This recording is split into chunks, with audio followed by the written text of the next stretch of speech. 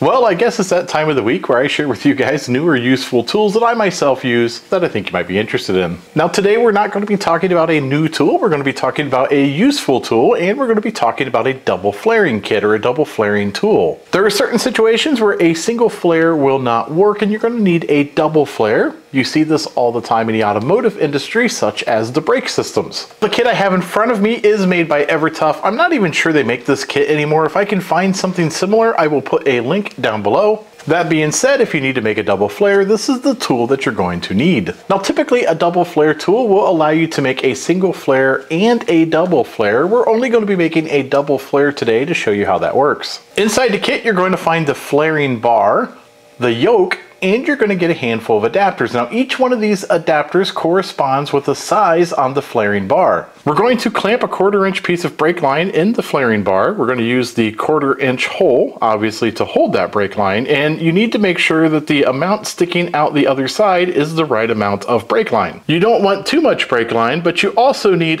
enough brake line to make the double flare. Luckily for us, the adapters tell you how much to stick out the other side of the flaring tool. That way you can get it to the exact measurement. The bottom ring of the adapter is the measured height that you need to stick the tubing out before you make your flare. Once you have the tube in position to be able to make the flare, you need to tighten this tool down really, really tight. And sometimes I like to get a little more mechanical advantage and put a screwdriver in the end so I can really get it nice and snug because you do not want this to slip while you're making that double flare. Now a couple of tips. You're going to want a nice fresh cut end on this. You're also going to want to make sure that it is deburred and it is perfectly flat. So you're going to want to use a pipe cutter or a tubing cutter. And I also find if you put a little bit of lubricant on the end of the adapter, you have better results. Now, if you're doing brake lines, you can put a little bit of brake fluid on it and that will be enough. You'll place the adapter inside the tube, just like that. Then place your yoke over the top of the adapter just like this. So you have the cone, the adapter, and the tubing. You'll also want to tighten the yoke up by rotating it like this up against the flaring bar. That way it's nice and tight. It's not going to go anywhere and crank it down. You can put the end of this in a vise, but quite frankly, I find myself underneath a vehicle doing this more than anything. But tighten it down as tight as you can and it will bottom out.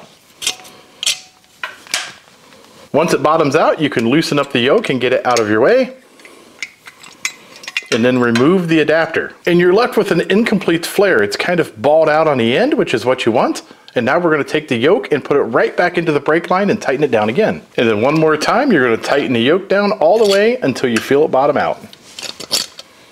And when we remove this yoke, we should have a perfect double flare. And now that we have a perfect double flare, we can take the union nut and put it up against that flare. It fits really well, it's seated just right, and it's going to seal perfectly. And that brings up a mistake that I've made before. You wanna make sure that before you put that double flare on, that you slip the flare nut over the tubing, then make your double flare. So there you have a very fast how to make a double flare using a double flare kit. If you like these types of videos, don't forget to like and subscribe. Take a look at some of my other videos. At the very least, you might be entertained.